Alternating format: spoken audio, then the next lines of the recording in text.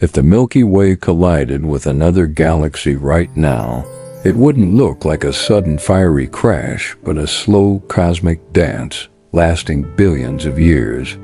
From Earth, instead of destruction, we'd witness a breathtaking show in the night sky, two galaxies, stretching and warping into dazzling streams of stars.